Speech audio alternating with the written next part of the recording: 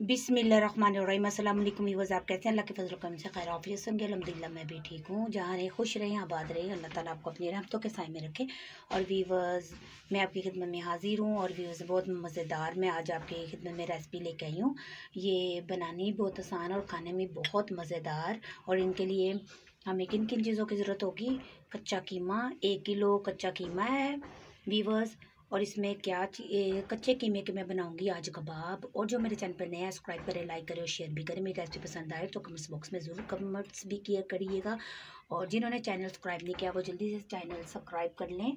और वीवर्स इसके लिए हमें क्या चाहिए होगा? एक किलो बीफ गाय का कीमा और चर्बी वाला थोड़ी सी चर्बी मिक्स करवा के आपने इसको रुखा कीमा बनवाना है। इसके लिए हमें क्या क्या चाहिए होगा? एक चम्मच नमक, बड़ा चम्मच नमक हसबे जायका, सूखा धनिया पाउडर, घर में ये कुटा हुआ है। तो गरम मसाला एक चम्मच, सुरख मिर्च भी एक चम्मच, हल्दी पाउडर भी एक चम्मच, ये काली मिर्च भी एक चम्मच ज़ीरा भी एक चम्मच मैंने लिया है और कुटी मिर्च भी एक चम्मच। वीवर्स एक अदद अंडा चाहिए होगा बेसन एक छोटी प्याली और सब्ज़ी बेचने वाला भी बाहर आया बड़ा शोर कर रहा है। लहसुन अदरक प्याज थोम वगैरह कोई सब्ज़ी बेचने वाले आए हैं और वीवर्स इन्होंने बहुत डिस्टर्ब किया होता, कभी कोई आ जाता, कभी कोई आ जाता है। मैं बहुत परेशान हो जाती हूँ। अब मैं वीडियो क्यों रोकूँ? फिर टाइम बहुत वेस्ट हो जाता है। वीवर्स एक कप हमें चाहिए होगा चावल का आटा लहसुन, अदरक और सब्ज़ मिर्चें, ये एक, दो बड़े खाने के चम्मच, दो से तीन हो जाएँ। और प्याज भी मैंने चार अदर लिए थे छोटे, जब इनको मैंने कश किया तो ये इतने से रह गया और इनकी भुकें जो निकली होती हैं, वो भी मैंने काट ली। अब ये है क्या कहते हैं, कीमा कीमे में हम शामिल कर देंगे प्याज। बिस्मिल्लाहिर्रहमानिर्रहीम, जो मैंने कश किया और फिर इसका पानी निचोड़ के तो पानी निचोड़ लिया। अब इसमें जाएगा लहसुन अदरक का पेस्ट। बहुत मज़े के हमारे आज कच्चे कीमे के कबाब बनेंगे, बड़े टेस्टी। और अब इसमें शामिल हम करेंगे वीवर्स ये सब मसाला जो मैंने आपको अभी बताया है हसबे जायका मैंने अपने टेस्ट के मुताबिक डाला है। आप जैसे बनाएँगे, आप अपने टेस्ट के मुताबिक डालिएगा। सात सात बर्तन आप रखें, इनको फिर बाद में मैं वॉश करूँगी। और वीवर्स ये चला जाएगा बेसन। बिस्मिल्लाहिर्रहमानिर्रहीम। अब चला जाएगा चावल का आटा। बिस्मिल्लाहिर्रहमानिर्रहीम। और चावल का आटा डालने से वीवर्स ये बड़ी ज़बरदस्त किस्म की बनेंगी। इनका टेस्ट बड़ा ही चेंज होगा। अब एक अदद अंडा इसमें डाल देंगे वीवर्स इसको मैं अब तोड़ कर दिखाती हूँ। ये देखें वीवर्स अंडा भी डाल दिया। अब इसको मिक्सचर को मिक्स कर लेंगे। हाथ की मदद से। बिस्मिल्लाहिर्रहमानिर्रहीम सबको, इसको कूटने की ज़रूरत नहीं है। सब कुछ पीसा हुआ है। मसाला भी। और जब कीमा इसमें डलवाया जाता है, बारीक लिया जाता है तो इसको कूटने की ज़रूरत नहीं है। अगर आपने इसको कुंडी में अगर कूटना तो कूट भी सकते हैं।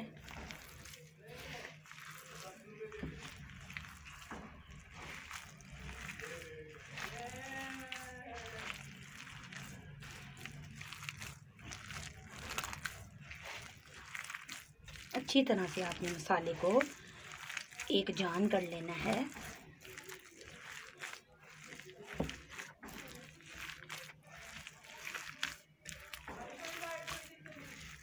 चावल का आटा डालने से ये अच्छी तरह जो इसका पानी होगा वो भी खुश्क हो जाएगा कीमे का। और एक फ्लेवर आएगा बड़ा टेस्टी सा। बस इसमें एक और अंडा जाएगा एक, एक कम है। ये देखें ये भी बहुत खुश्क है। इसमें एक अंडा और शामिल कर देंगे दो अदद अंडे जाएँगे। वीवर्स देखें एक अदद अंडा और मैंने इसमें शामिल किया है। अल्हम्दुलिल्लाह अल्हम्दुलिल्लाह देखें वीवर्स कितना ज़बरदस्त मसाला इसका तैयार हो गया है। इसको आप रोटी के दो पेड़े बना के रोटी में फिलिंग करके भी पराठा भी कीमे वाला बना सकते हैं। इसके कबाब भी बना सकते हैं। आप इसका बर्गर भी बना सकते हैं। बीफ बर्गर बड़ा ही मज़े का बनता है। शवारमा भी और, और पराठा भी। मैं बच्चों को ए, अब तो मैं आपको कबाब बना के दिखाऊँगी इसके। और बच्चों को मैं ये पराठा रोल बना कर देती थी पराठा तैयार करके उसके अंदर इनके कबाब लगा के तो कैचअप लगा के बच्चों को देती हूँ। बहुत ही मज़े का लगता है फीवर्स तो तब तक अब मैं ये ज़रा सा इसको थोड़ी देर रखते हैं, फिर इसके कबाब बनाती हूँ। बना के तो फिर फ्राई करते हैं और तब तक मैं ये बर्तन वॉश कर लूँ वीवर्स इसको ऊपर से हम एक खूबसूरत प्लेट के साथ इसको ढाल देंगे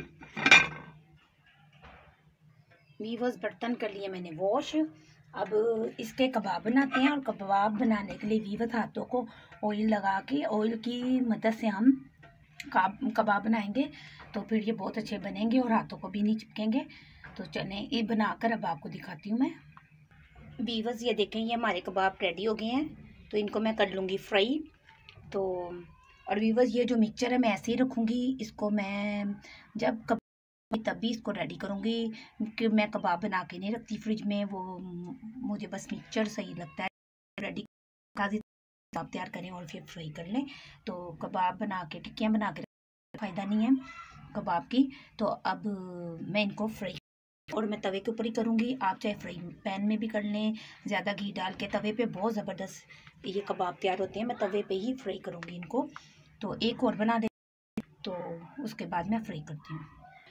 एक बात का ख्याल रखिएगा कि आपने पतले और ज़रा बड़े बनाने हैं। ये श्लिंग भी हो जाती हैं इकट्ठे भी हो जाते हैं और ये, क्या कहते हैं, मोटे भी हो जाते हैं। जितना पतला और बड़ा कबाब बनाएँगे, उतना ही ये टेस्टी और ज़्यादा लुक में प्यारा सा बनेगा। चलिए अब इसको फ्राई करते हैं, तवा चूल्हे के ऊपर रख के। लीवर इधर करी हूँ मैं सैलिड तैयार, सलाद।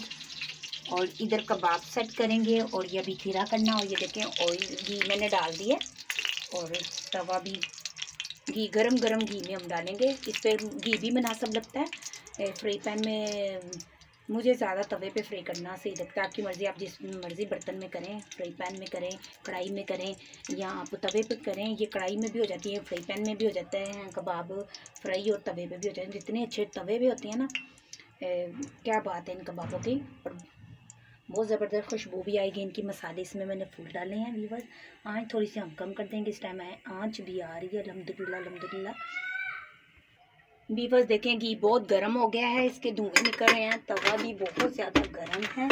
तो अब इसमें हम शामिल कर देंगे कबाब इसमें थी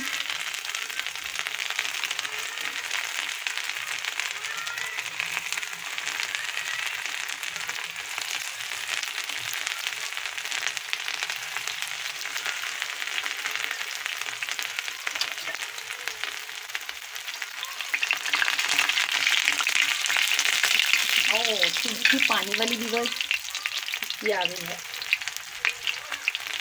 पानी की धीमे आवाज़। आप इनको तब तक नहीं पलटेंगे, जब तक एक साइड से ये अच्छी तरह रोस्ट नहीं हो जाएँगे।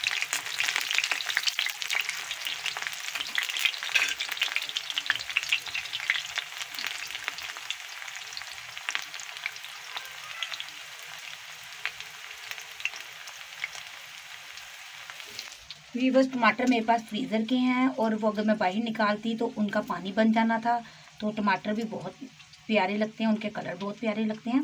अगर सैलड के साथ इसको काट दें तो अब इसकी, ये देखें ज़रा सैलड भी तैयार है। अब चटनी भी कर लेते हैं। तब तक ये कबाब हों लाइट आँच पे। आपने तेज़ गरम घी में डालने हैं और बाद में आँच लाइट कर लेनी है। अब इनकी साइड चेंज कर देते हैं वीवर्स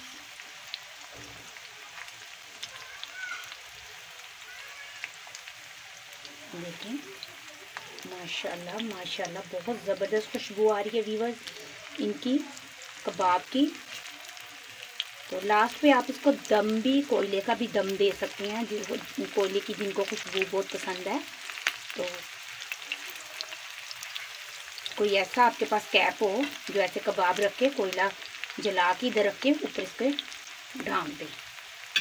तो वाह वाह, क्या टेस्ट आएगा, कैसी खुशबू आएगी। तो देखिए बस कितने ज़बरदस्त हमारे कबाब तैयार हो रहे हैं, माशाल्लाह अलहमदिल्ला अलहमदिल्ला की शान।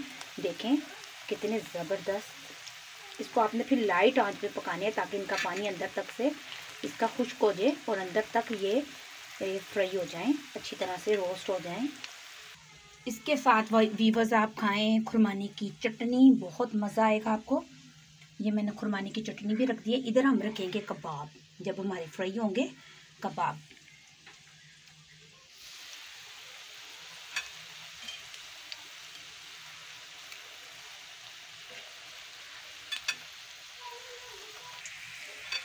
माशाल्लाह माशाल्लाह अलहमदिल्ला अलहमदिल्ला वीवर्स देखें, इसकी इस तरह की फाइनल लुक इस तरह की होनी चाहिए। ये देखें, ये हमारा रेडी है कबाब। ये देखें दोनों साइडों से, माशाल्लाह। अब इनको मैं प्लेट्स में निकाल लूँगी और फिर इसको डेकोरेट करते हैं। देखिए कितने मोटे हो गए हैं वीवर्स ये कबाब। देखें, माशाल्लाह से, अल्हम्दुलिल्लाह। अल्लाह ताला भाई, सबके खानों में हर चीज़ में अल्लाह ताला बरकतें, जायकों में, खानों में अल्लाह ताला बरकतें अता फरमाए। आमीन आमीन। ये देखें तो ये वीवर्स हार्ट बन गया, ये। हार्ट की इसकी शेप आई है, ये देखें ज़रा। चलें, अभी इनको निकाल लेंगे प्लेट्स में। ये रेडी है, माशाल्लाह से।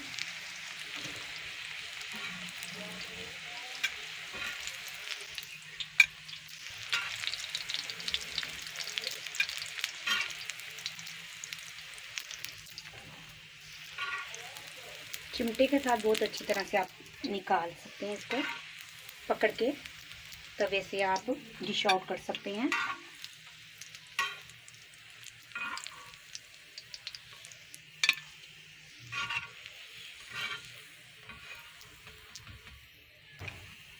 ये देखिए, माशाल्लाह से अलहमदिल्ला कितनी ज़बरदस्त लुक आ रही है इसकी वीवर्स माशाल्लाह माशाल्लाह।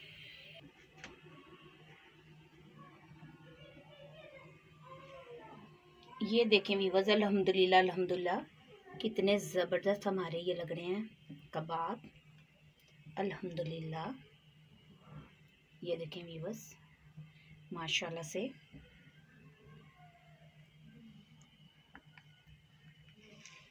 ये देखें, कितनी ज़बरदस्त लुक आई है फाइनली देखें वीवर्स माशाल्लाह से अल्हम्दुलिल्लाह।